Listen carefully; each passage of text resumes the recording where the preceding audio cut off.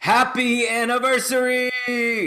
Oh, it's our ha- happy, yep, happy anniversary. That is exactly what I was going to say. Beat me to it. It's chocolate ganache, your fave.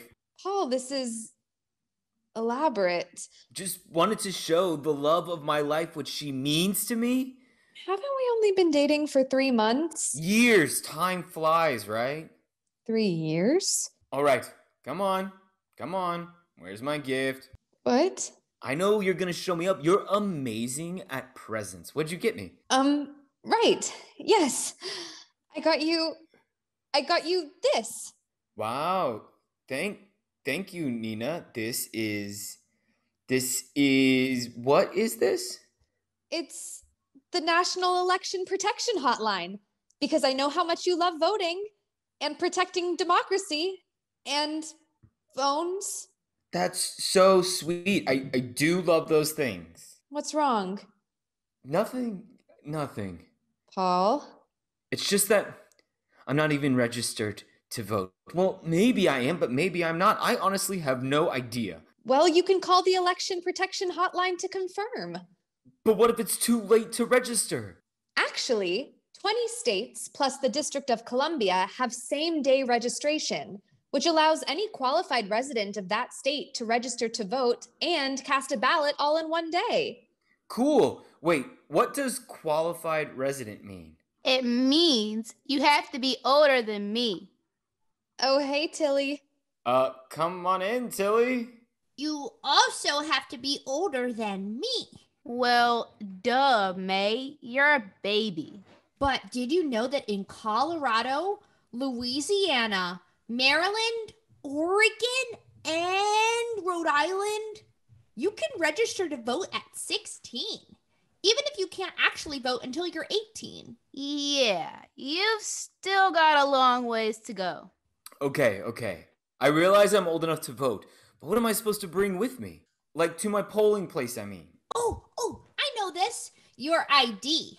But what kind of ID?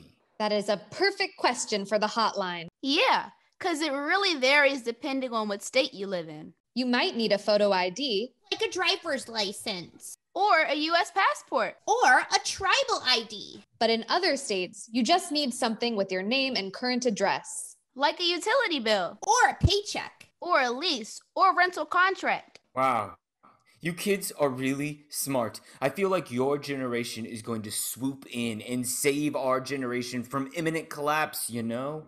Uh, that's kind of a tall order and a condescending thing to say, Paul. Oh, sorry. So, guys, a voter could be asked to show a certain ID at the polls, but not actually legally need that form of ID, right? Right. That smells like misinformation and intimidation to me. Intima what? Intimidation. It means when people try to puff themselves up and act all scary so that other people feel sad and run away from the voting booth. Really? Yeah, intense. But if that happens to you, or if you experience any problems voting at all, the Election Protection Hotline's got your back.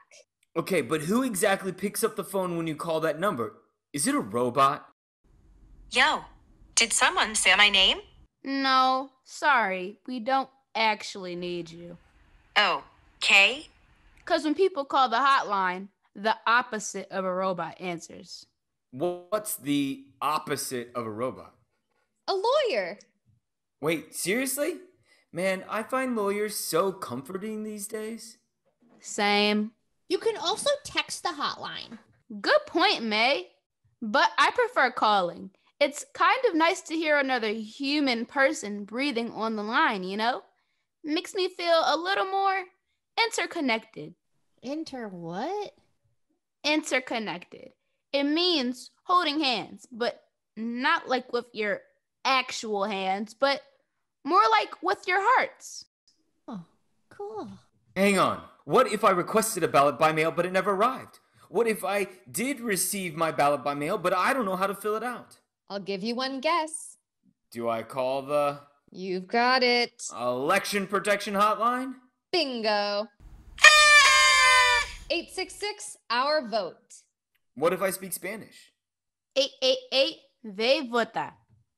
Arabic? 844 Yalla US. Chinese? Vietnamese? Tagalog and other Asian languages? 888 API vote.